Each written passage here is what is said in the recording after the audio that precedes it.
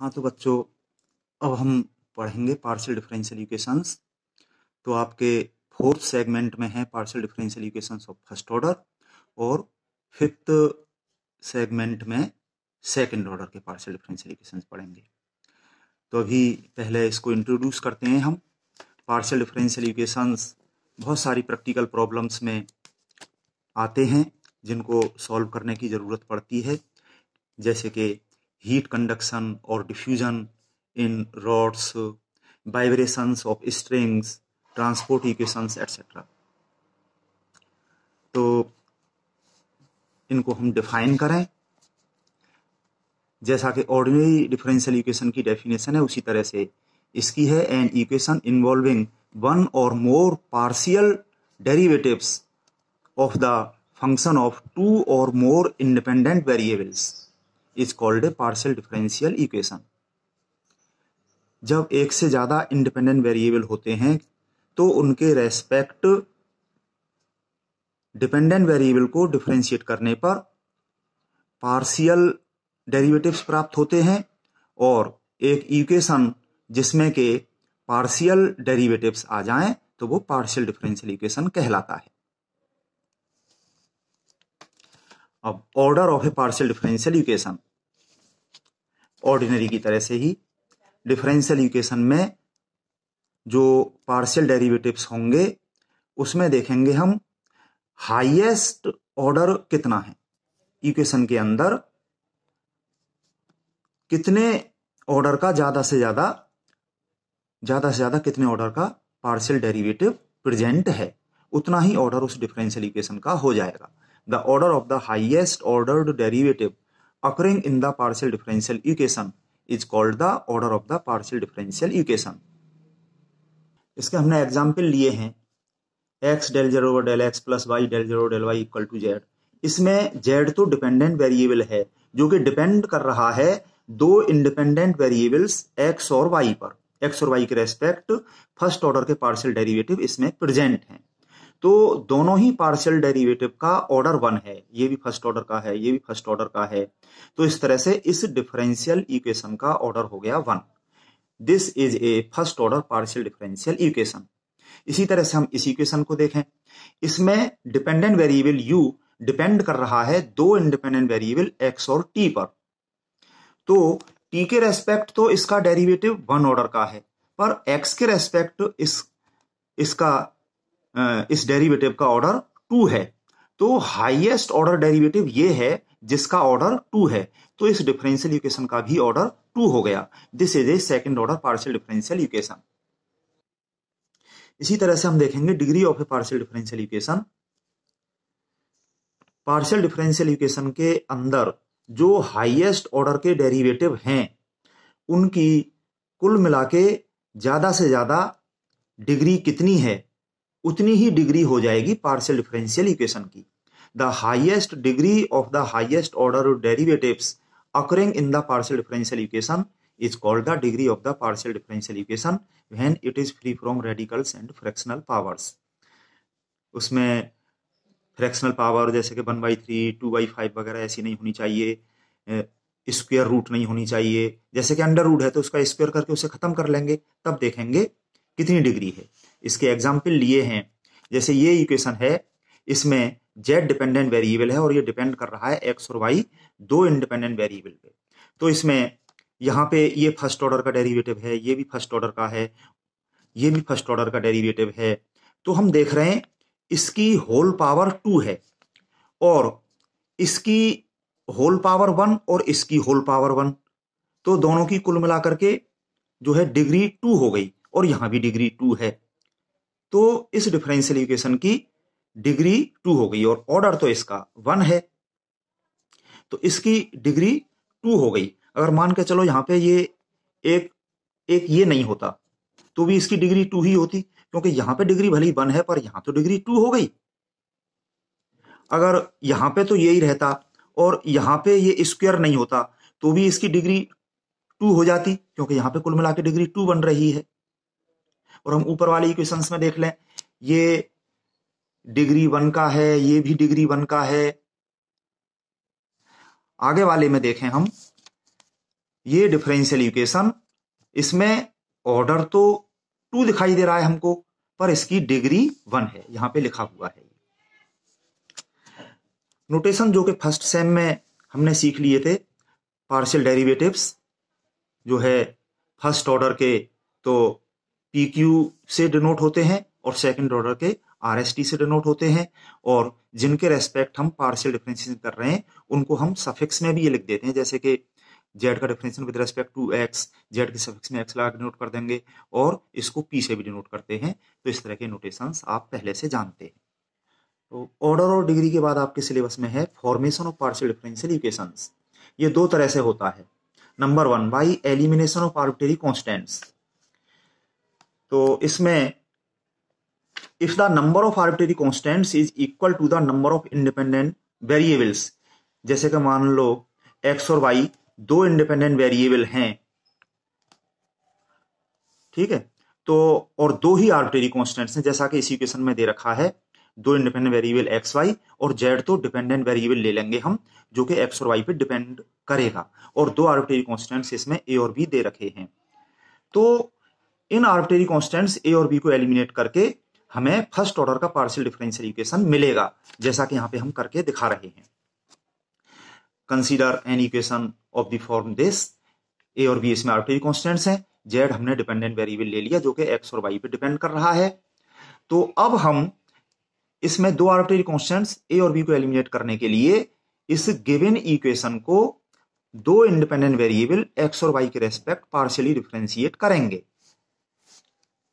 तो जब इसको हमने एक्स के रेस्पेक्ट पार्शियल डिफ्रेंशिएट किया तो ये हो गया del f over del x plus क्योंकि इसमें और भी जो ये चीज़ें आ रही हैं तो इनको हम ध्यान से देखें कि एक्स के रेस्पेक्ट डिफ्रेंशिएट कर रहे हैं तो ये वाई तो एक्स से इंडिपेंडेंट है, पर जेड एक्स पे डिपेंड कर रहा है। तो ये तो ये एफ़ जो है जेड का भी फ़ंक्शन है।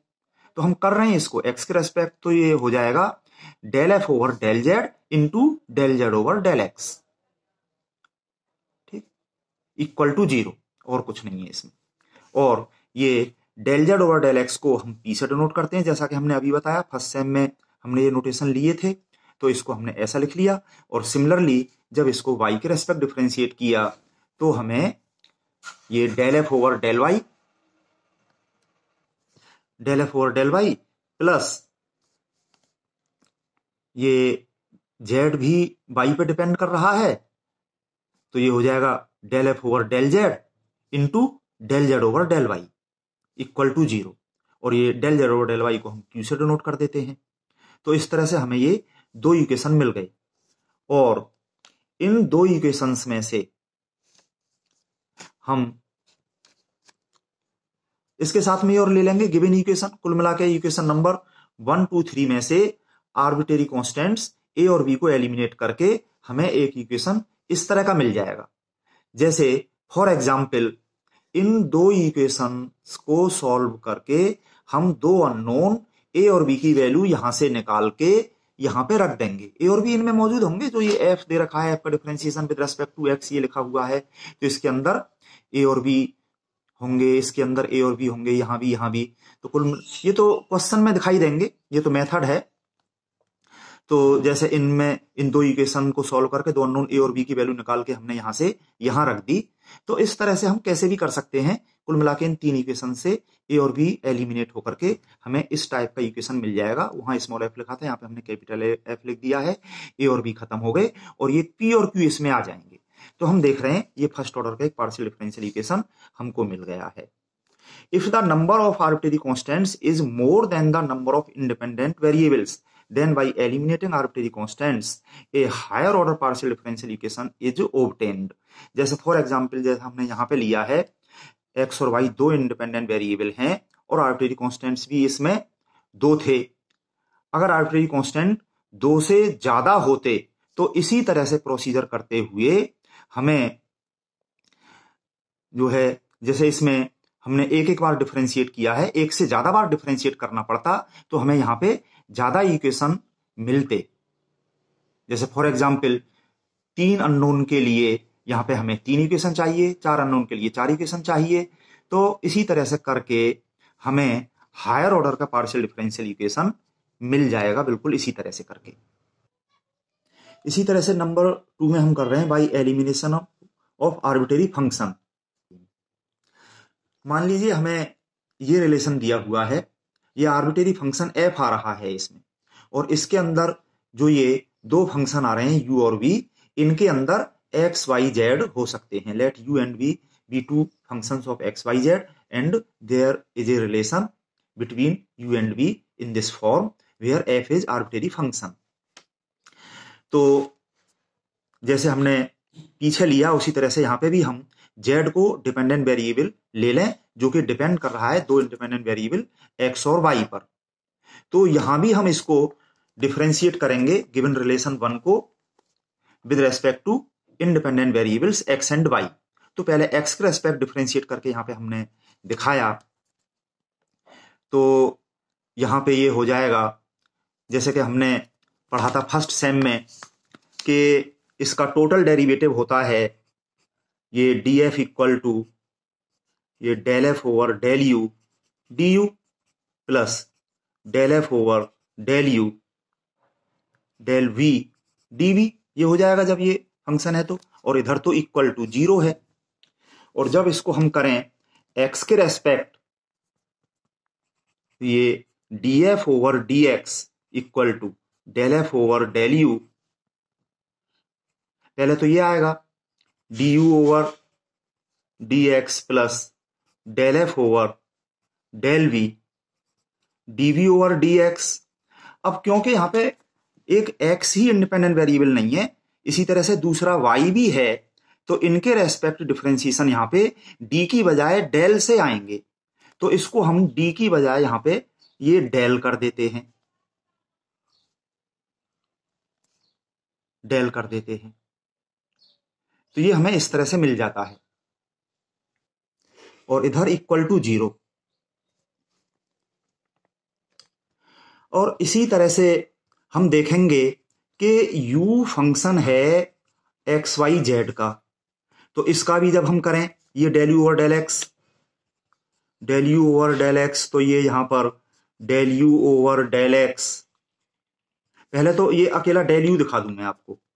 ये del u over del x del x plus del u over del y del y plus del u over del z del z और ये विद रेस्पेक्ट टू एक्स किया अपॉन में डेल एक्स सब में ये लगा दिया। इसी तरह से फ़र्स्ट सेम में बड़ी अच्छी तरह से थोड़ा थोड़ा लिख के दिखाया था। तो ये तो वन हो गया del x over del x क्योंकि एक्स और वाई तो इंडिपेंडेंट वेरिएबल है, दोनों एक दूसरे पे डिपेंड नहीं कर रहे तो ये डेल वाई और डेल एक्स ये ज़ीरो हो जाएगा और डेल जेरो और डेल एक्स ये पी हो जाएगा। अब इस डेल यू और डेल एक्स को हम यहाँ पे रख लें। इसी तरह से इस पूरे में हम यू की जगह वी कर दें तो ये हमें डेल यू और डेल एक्स मिल जाएगा। तो इस तरह से हमें मिल गया ये डेल एफ़ और डेल यू इंटू ये पूरे ब्रैकेट में मैंने यहाँ पर इसकी वैल्यू ये लिख दी यहाँ पर। ये आ गई। Plus del f over del v into इस पूरे ब्रैकेट में बस यहाँ पे यू की जगह वी है तो इसमें यू की जगह वी करते हुए उतार दीजिए। तो ये वन हो गया, ये ज़ीरो हो गया, इसको हमने पी लिख दिया, ये एजिट उतारा हुआ है। प्लस सिमिलरली इसी तरह से इसमें हो गए ये। और इसी तरह से जब वन को पार्शियल डिफ्रेंशिएट करेंगे विद रेस्पेक्ट टू वाई तो इसी तरह से हमको ये मिल जाएगा। उसमें del z over del y को क्यू से डिनोट कर दिया गया है। और अब इन इक्वेशंस टू और थ्री में, जो कि हमें एफ़ एलिमिनेट करना है तो एफ़ के लिए यहाँ पे आ रहे हैं ये del f over del u और del f over del v इन दोनों इक्वेशंस में से हम एलिमिनेट करेंगे। तो इसकी पूरी कैलकुलेशन तो हमारे नोट्स में और बुक में दे रखी है। करना बिल्कुल भी ज़रूरी नहीं है। कोई नॉलेज के लिए देखना चाहे तो देख लें, नहीं तो छोड़ सकते हैं। तो हमें कुल मिला के इस तरह का इक्वेशन मिल जाएगा। और इसमें ये कैपिटल पी क्यू आर जो हमने लिए हैं, इनकी वैल्यू भी यहाँ पे लिखी हुई है, इस तरह से आती है, पर यहाँ पे कोई ज़रूरी नहीं है। और क्वेश्चन में तो जो चीज़ निकल के आएँगी वहाँ पे हम देखेंगे। ये तो मेथड है। तो हमें ये इक्वेशन मिल गया फ़र्स्ट ऑर्डर का पार्शियल डिफरेंशियल इक्वेशन इसको ये एक लीनियर इक्वेशन है, इसको लेग्रेंज इक्वेशन कहते हैं। और इसी तरह से if the number of arbitrary functions is more than one जैसे इसमें तो एक आर्बिटरी फ़ंक्शन दे रखा है, अगर एक से ज़्यादा आर्बिटरी फ़ंक्शन दिए हुए हों तो उसको एलिमिनेट करके हमें हायर ऑर्डर का पार्शियल डिफरेंशियल इक्वेशन मिल जाएगा।